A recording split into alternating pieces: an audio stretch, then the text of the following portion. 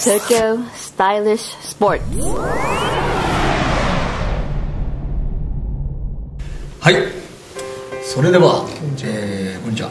今回 PDGA ワールドランキング34位に入ったということで、い、やこれはすごいことですね。34位。34位ですね。最新のランキングで。そうですね。今まで最高はどれぐらいだ？えっ、と前回の発表の時に479そうですね40え？9位。9位。ですね49位。はい。今回大幅にガーンとランキングが上がったっていうちょっと今の感想をちょっと。えっと、僕も更新されたよっていうのを聞いてあの、ね、ウェブでチェックしたんですよ、それで34番目にあってその上にいる人もね自分の下にいる人もそのそうそうたる顔ぶれなププレイヤー。そうもう僕は DVD でしか見たことがない、はいはい。ネットでしか見たことがなかった人たちの名前がガーってある中にその中に自分の名前があるんですよね。だからでも周りのメンバーがあまりにすごくてなんかその中の一人みたいになっちゃってて全然実感がないんですよ。世界のトッププレイヤーのこう仲間入りをしたっていう、特にやっぱり日本に住んでるじゃないですか、うん。であのランドビーネスを書いてあるのが自分の名前っていうのだけで、なんかねあすごい人なんだっていう。どうやって対抗しようと？うーんと過去やっぱり世界結構行かせていただいてるんで行った時は結構ヘビーに全部変えてたんですよ、でやっぱりなかなかすぐに変えるのが難しくて全く違うもんなんで。で今回はもう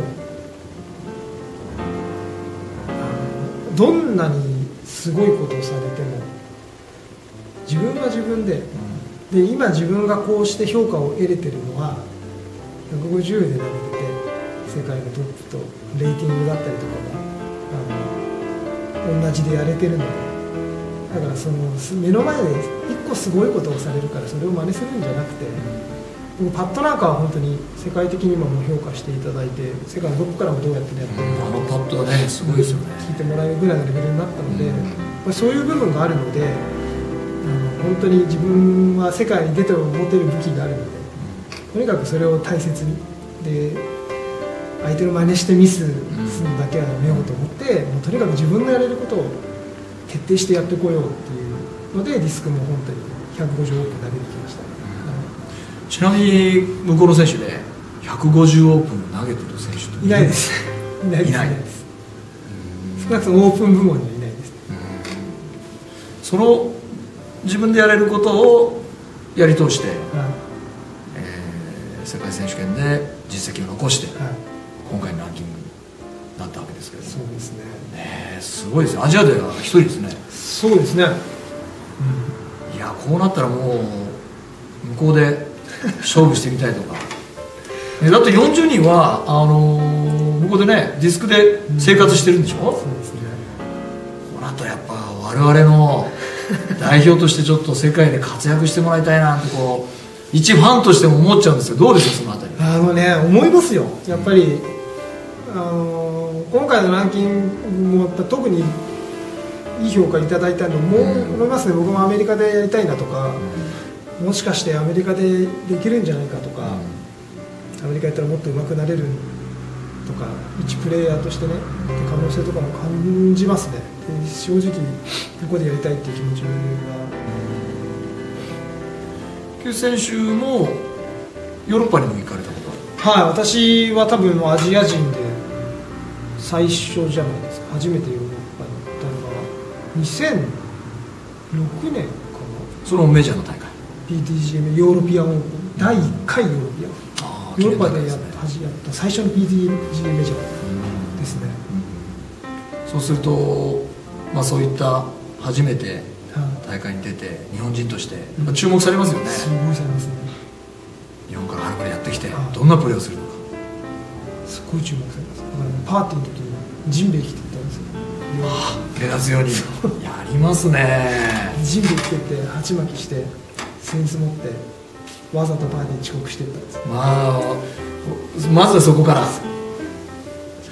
それやったんですよ。大人気でしたよ。みんなで一気しろ一気しろってでもねそれでもねそれで名前と顔がそうですね。まずね。そう。それはあの最初の人ってやっぱり誰かが足跡をつけてくれないと、うん。そのそこの市場って開放されないじゃないですか、アメリカの USDGC もまあ実業さんが日本人で最初に行ってくれて大変だったと思うんですよ。でも次の人って足跡つけてくれてるからうん。すごく行きやすい。その最初一緒にでもそういう今僕の求められることってそういうことなのかなってそれ前に言ったことがなければね、あのこの大会どういう大会だとかっていうことも聞けないし全く本当に初めて日本人としてそこに行ってまさにパイオニア的なね。そうですね。あのまだまだ日本のディスクゴルフってアメリカと違ってディスクゴルフだけでご飯食べれないので、あの僕とかねあのできる人がそうやっていろんな足跡つけてって開拓してってでいろんな市場を開放してって次に行く人がどんどん行きやすくなってどんどん日本人が外に行けるようになって日本の市場も大きくなって日本のレベルも上がってってなればいいのかな自分に求められる今のね現状で与えられた役目っていうのはそのどんどん次の人のために足跡つけていくことが自分の役目なのかなっていうのは、うんあのすごく思いますね。やっぱりどんなスポーツでもトッププレーヤーがこう活躍しているっていう姿を見てね、あやってみたいとかあかっこいいなとか面白そうだなって感じると思うんでね、うん、そこはやっぱり大事なことですよね。そうですね、あのどんどんどんどんまあね大変なんですけどね。どんどんどんどん出てってね。次の人たちにねつなげていければって具体的にその世界ランキング何位まで行きたいとかそういう目標っていうのは特に。はえーとね、今まで数値目標っていうのを最近あの立ててなくてなぜかというとランキングもレーティングもやっぱり上がる上がれば落ちるし、あのその数字で一喜一憂したくないんですよ、ただ大事なのは決勝に残る数とか優勝の数とか積み重ねられるものはどんどん積み重ねていきたいなって気持ちはあるんですけどあのじゃあレーティングが落ちましたランキングが落ちましたっていう時に自分のやったことを信じられなくなるとか、うん。そういうのが嫌なので、うん。変動する数字に振り回される必要ないなっていうのは思いますね。その辺のねこう精神的なもう一試合一試合の一投一投もそうなんだ自分の気持ちのね作り方っていうのがやっぱり上手なんじゃないかなと思うんですよ上ね手になったのな。かなか昔はそう思えなかった。うん僕もメンタル的に強い方じゃないんで昔はもうちょっとしたミスで、うわーってなったりとか逆転されて負けたりとかたくさんありましたよ。そういうやっぱり経験いっぱいしてきてちょっとずつちょっとずつちょっとずつ今も成長中ディスクを始めて今何年？えー11年目です。11年目。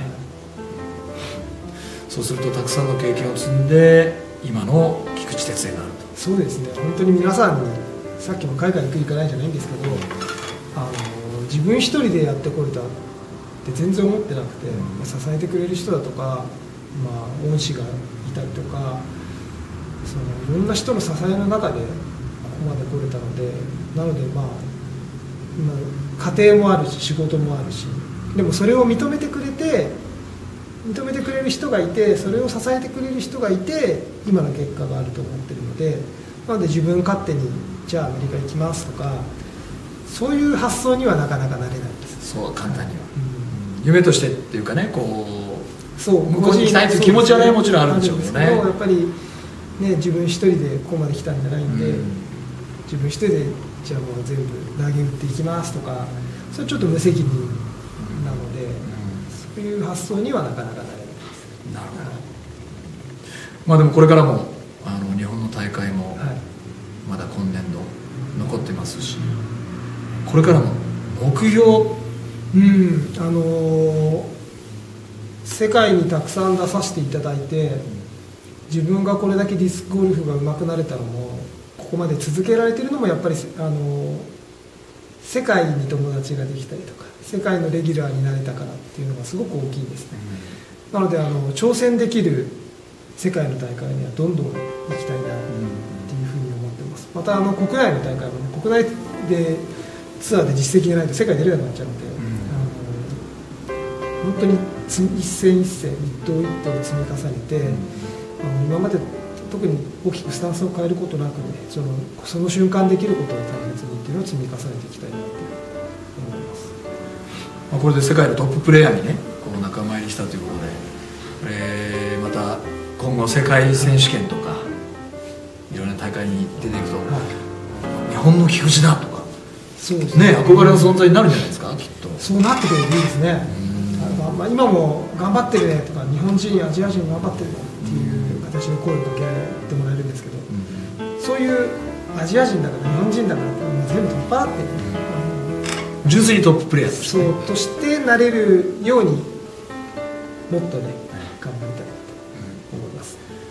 ディスクをこれから始めるね、はい。こう小さい子とか。やっぱり本当にすごいプレーを見ると、い。わすごいなって単純な憧れを持つと思うんですけどね。その最高峰には今日本では菊池さんがいるそういう人たちに、はい。ファンの人たちというかねメッセージが最後に。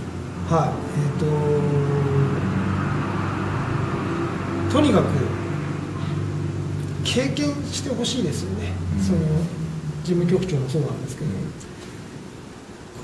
この語っても伝わらない魅力みたいなのあるじゃないですか、うん。それが一投投げちゃえば解決する。そういうあの本当に魅力的なスポーツだと思うぜひ菊池をきっかけにとかその TSS きっかけにディスクゴルフ知ってもらえたらぜひ投げてほしいな。ディスクやってほしいな。なるほど。まずは経験を。そうですね。やっぱりここまで来てもディスクゴルフはディスクゴルフは楽しい。楽しいです。もう間違いなく楽しいです。やめようと思ったことは一回もないですからねそこがやっぱりいいですよね。そうですねでどれだけ投げれるようになってもまあそのみんな今ね周りのメンバーは知ってますけどチームのメンバーは知ってますけどすごい悩んでるんですようん。いじったりとか。そういうなんかどこのレベルになってもその技術に限界がないしまだまだいけるしっていうのがやっぱり面白いですよね。やればやるほど終わらない技術の追求が終わらないので面白いです。いやーそれはやっぱりす一番素晴らしいことですね。そうですね。課題だらけなんで。そうですか。じゃあ今後もぜひはい。我々の代表としてでもね 日本の代表でもあるんですけど。いやいやいやもうねみんな TSS の代表としてぜひ、はい。はい、頑張っていただきたいと思いますので、はい、今後とも活躍を期待しています、ありがとうございました。